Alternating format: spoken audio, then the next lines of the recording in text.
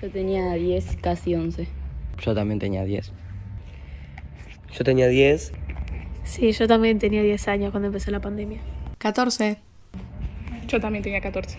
Yo tenía 15. Yo tenía 15. Yo también.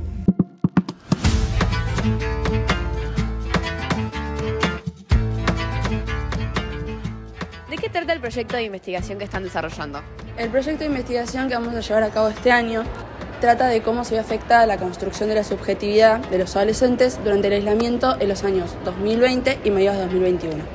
También busca analizar cómo influyó el uso de las redes sociales en esta construcción y cómo se ve afectada la salud de los adolescentes, tanto física como mentalmente.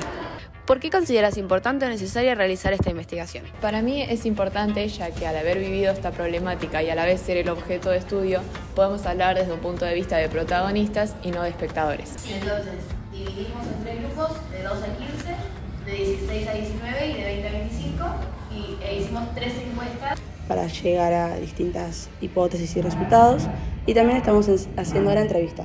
Desde la perspectiva de las ciencias de la comunicación, ¿definirías a la adolescencia como una construcción histórica? Sí.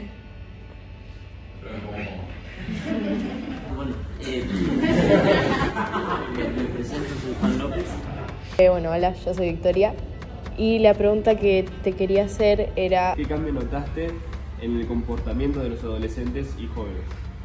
A partir de la pandemia. A partir de la pandemia. Bueno, relacionado más o menos con lo que recién preguntamos, eh, ¿con qué cosas buenas se quedan y con qué no? Las cosas buenas es las risas con mis amigos, tipo así, online.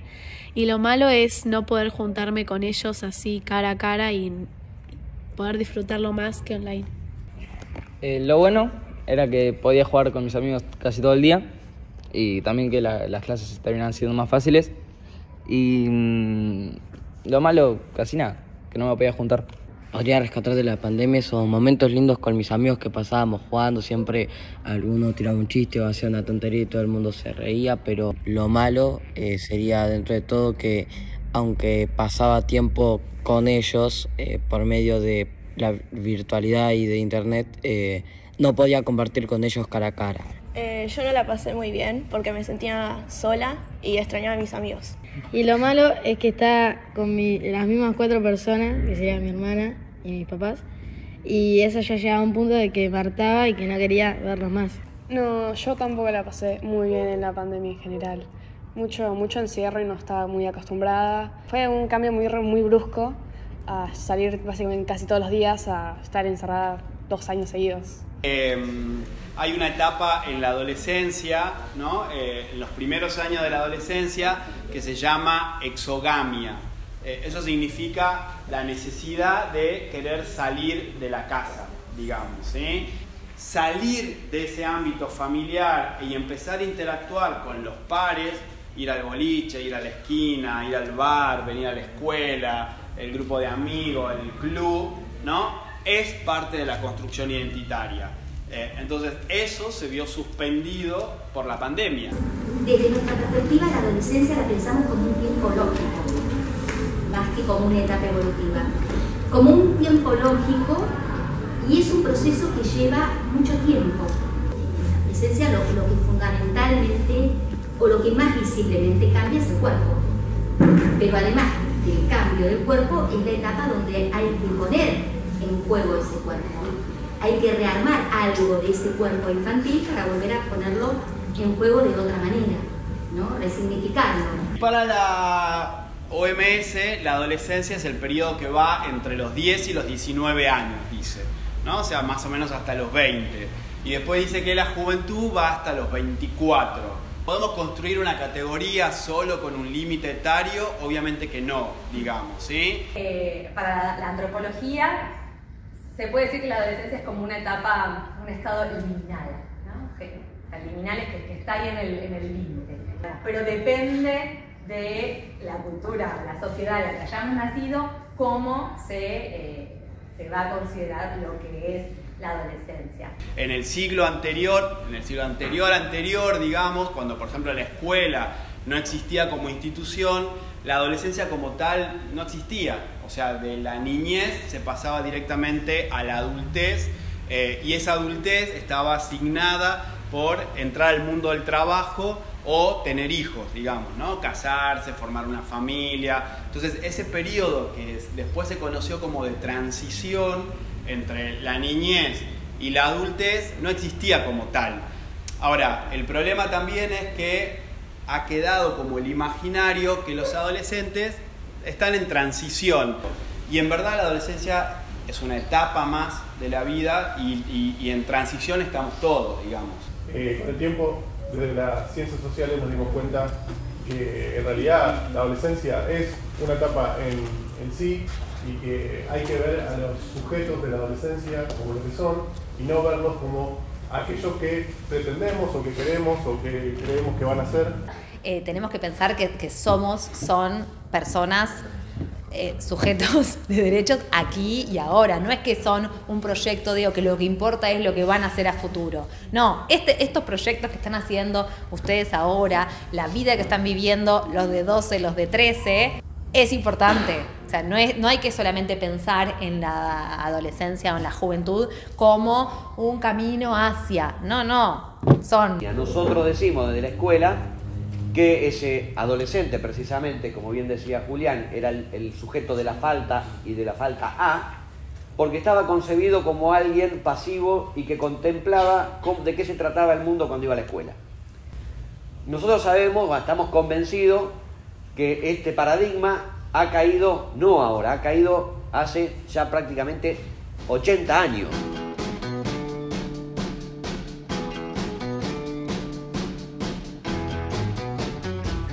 en la década del 60 hay una crisis muy profunda sobre la concepción del sujeto adolescente, este, que tiene que ver con un montón de expresiones de la ciencia, de las ciencias exactas, de las ciencias sociales, de la participación cultural, de la vida ciudadana y de los contextos que se van dando fundamentalmente en el mundo. Entonces, ahí cambia ese paradigma que todavía no termina de morir en las escuelas, y que nosotros estamos tratando de, parir en la nuestra, que es que los sujetos estudiantes se transformen en eh, ciudadanos que transitan su vida escolar como sujetos participativos. Eso obviamente es un cambio copernicano con respecto a la mirada que había sobre los estudiantes y sobre los adolescentes puntualmente, y ya el, adolescente deja de ser ese el que le falta para, sino que es aquel que viene también a proponer. Pero además es cierto lo que ustedes dicen, la adolescencia promueve cambios corporales. Por eso alguien por acá dijo el cuerpo, creo que fuiste vos, ¿no? El tema del cuerpo, o esta niña. El cuerpo, el cuerpo es muy importante en la adolescencia. ¿Por qué? ¿Qué pasa de la pubertad a la adolescencia? La transformación. ¿Buscaron algún método para refugiarse de sentirse mal? Yo, por ejemplo, no sé si les interesa comida. Toda la noche hacía videollamada con mis amigos. Y creo que nada más. ¿Y te afectó mucho la relación con tus amigos? Y sí, perdí un par de amigos, pues, o sea, no podía hablar, quizá pues no quería. O sea, no encontré nada en, lo que me pudiera, por así decirlo, refugiar cuando estaba mal o me estresaba mucho. Creo que lo que más hacía cuando, cuando me sentía mal era agarrar la computadora y quedarme 10 horas jugando, nada más. Yo en la pandemia cuando me sentía mal, eh, le mandaba un mensaje a, mi, a alguno de mis amigos para jugar, para que se conecte y pasaba el tiempo ahí. Bueno, en la pandemia yo me refugié bastante en la música, eh, con esto de que me empezó a gustar Nirvana. Mucha gente todavía me bardea porque me gusta Nirvana. Pero es genial escuchar Nirvana, chicos. La subjetividad tiene que ver con la identidad, de quiénes somos, cómo somos, qué hacemos, qué nos gusta, cómo actuamos en determinados momentos Silvia Bleichmar, que es una psicoanalista argentina muy importante, plantea que somos una producción de subjetividad en función del lugar donde nacemos, la geografía donde estamos, el lugar de la política que nos atraviesa, el lugar también no solamente la geografía, la política, la religión, las costumbres, la cultura. Nos construimos en la mirada del otro. El encuentro con esos otros, otras, nos hace saber quiénes somos. ¿no? Y al no poder encontrarnos con otros, otras en la pandemia, eh, probablemente esa construcción de, quién soy yo, a quién pertenezco, a qué grupo pertenezco, que es fuertísimo en la adolescencia, en la, en la juventud, se vio muy limitada. Creo que lo más importante de nosotros fue que, más nuestro, nuestro curso fue que perdimos el primer año secundaria. Pasamos de estar en sexto de primaria, se perdió, digamos, todo lo especial del primer año.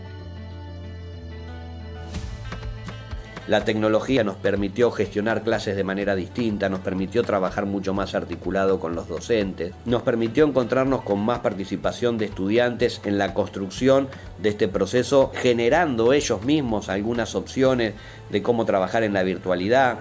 Por estar con nosotros. Y gracias chicos, chicas, gracias por, por acompañar el seminario. Eh, creo que eso es algo bueno, que podemos como que básicamente agarrar de lo que pasó en la cuarentena. Eh, nosotros hicimos videollamada todo el tiempo. Quizás terminaba la clase y al toque era como, bueno, bueno, vamos a hacer la tarea juntos, o merendábamos juntos, o buscábamos algún juego o algo para jugar juntos, así. Y mm, estuvo bastante bueno, eh, pero sí era difícil, porque apagaba la cámara y era como que silencio. Eh, nada, también lo que me puso triste fue que cumplía 15, iba a festejar mis 15. eh, y bueno, no lo pude festejar cuando fue, lo, tuve- lo festejé el año pasado, recién ya con 16, casi 17. Em, a mí principalmente, o sea, pude hablar con mis amigos por llamada, todo, pero sin embargo, era como que tenía la necesidad de hablar con ellos presencialmente. Tuvo cosas positivas, pero también tuvo cosas donde, como ustedes muy bien dijeron, y hay acuerdo, la falta del cuerpo del otro, del abrazo del otro, de la mirada del otro. ¿Se perdió? Sí, se perdió. Pero las pérdidas constituyen la construcción subjetiva, hablando de cómo uno se construye. Eh, queríamos saber ustedes cómo usaron las redes sociales, qué uso les dieron, porque saben que son ni algo bueno ni algo malo, depende como nosotros usemos. Hoy en día necesito todo el tiempo tener mi cuenta de Instagram, mi cuenta de TikTok, todo, necesito las redes sociales conmigo. Siento que en la pandemia fue cuando disparó eso, pero no me pasó, o sea, la pasé bien y la estoy pasando bien en las redes sociales. Lo usaba eh, una gran mayoría del tiempo para jugar principalmente o para estar en Instagram o TikTok.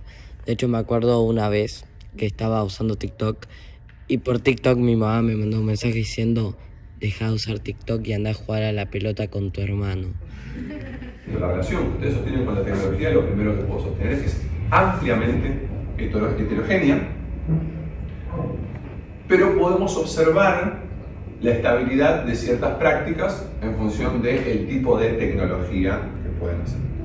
Hay una amplia eh, penetración de, de las redes sociales en las prácticas cotidianas de ustedes y hay una intención de captar y de conservar el momento Y al mismo tiempo, hay una preocupación que no hubo décadas eh, atrás por lo estético, dado que, primero, ahora nosotros podemos observar las imágenes y sacar varias.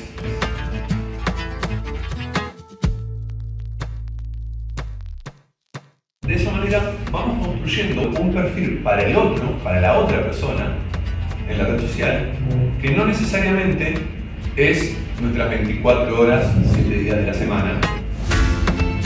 Ese año yo había tenido por primera vez mis redes sociales, que si bien estaba muy piola, eh, me trajo bastantes consecuencias, ya sea desde em, en el autoestima o en la alimentación o que me hice amiga de personas que no eran buenas para mí. Aquello que vemos en las redes sociales nos es muy cotidiano, pero no es la realidad. Entonces, aquellas personas que encontramos ahí son un reflejo de nosotros, pero no somos nosotros. Entonces, ¿cuáles son los problemas que se producen?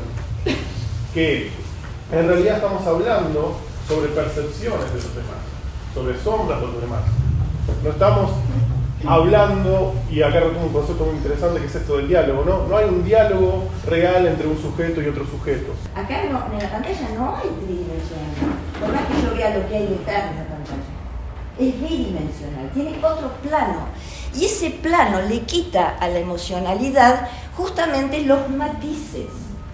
Pasaba demasiado tiempo con pantallas y eh, ahora es algo que ya está muy, muy adherido a mí, como siempre necesito una pantalla y creo que es algo malo porque pasaba mucho tiempo poner en redes sociales, viendo otras personas, llegando al punto como de compararme con otros. Básicamente veía personas distintas a mí que eran más aprobadas, por así decirlo. Y yo las veía y decía, yo no soy así. Si no veía que era parecida a chicas que me aparecían por Instagram o TikTok o lo que sea, eh, me ponía un poco mal y no quería comer. De lo más negativo que encuentro es eh, que refuerza la meritocracia. Todo el tiempo están mostrando esta imagen, ¿no? El, joven o la joven ideal eh, al que tenemos que llegar y que se consigue con un mérito individual no es solos, no es sola, sino que es en colectivo. y otra cosa es que tampoco podemos lograr todo lo que nos propongamos. Se dificulta muchísimo poder regular cuestiones vinculadas a lo digital. Porque pareciera que lo digital, lo tecnológico, se está filtrando por todos lados y en el medio de ello tenemos que construir una adolescencia en oposición y siendo parte de. Y lo peor de todo, y, que las pruebas muestran en las distintas experiencias que, que conozco, que el adolescente no toma las adolescencias no toman conciencia de las consecuencias de los actos cuando tenemos un dispositivo que puede estar registrando lo que hacemos. Esto también es muy eh, antropológico. Eh, el no poner el cuerpo hace que a veces digamos cualquier cosa, sin pensar en lo que podemos causar en esa otra persona. También es cierto que éticamente no tenemos que olvidar que aquellos que le estamos diciendo a los demás le va a llegar a los demás de alguna manera y los va a influir de cierta manera y los va a impactar de cierta manera. Entonces la pregunta que nos tenemos que hacer muchas veces cuando vamos a hacer un comentario es, ¿cuál es el impacto que queremos generar en esa otra persona? Somos responsables de las cosas que hacemos, también en las redes. Estética, fugacidad, instantaneidad, eh, superficialidad. Yo creo que de esa manera más o menos se relacionan los eh, adolescentes y las adolescentes con la tecnología, con las redes sociales. Bueno, si creen que les quedó alguna secuela de la pandemia.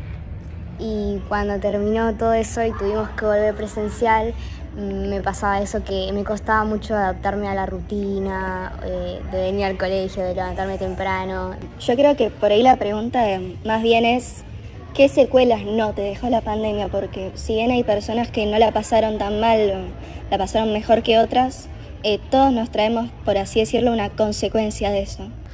Eh, me quedó esto de mientras más flaca sos o mientras menos pesas, la gente te elogia más, porque mientras yo tuve estos problemas alimenticios, como que la gente me decía, ay, estás más flaca, estás más bonita. Entonces esto era lo que a mí me incitaba a seguir con esto. Entonces los adolescentes que son esponjas de todo lo que pasa, son casi cajas de resonancia en el cuerpo y en la mente, la verdad no la pasaron bien.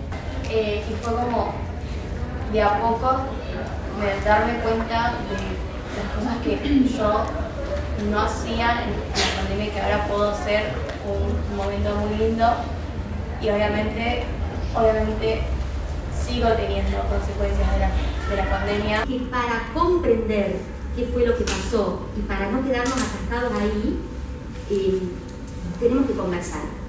Entonces, esta invitación que nos hacen ustedes a conversar sobre eso que pasó, me parece maravilloso.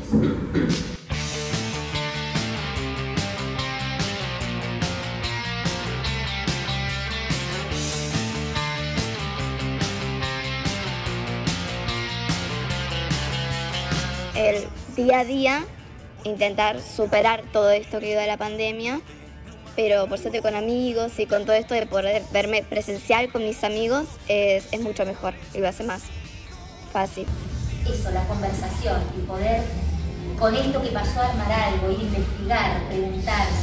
El arte, las, las herramientas, la música, inventar, es lo más difícil. Mm. Reinventar, ¿no? Acercarse a, a nosotros que si uno sienta que puede escucharlo, hacer escuchar la voz.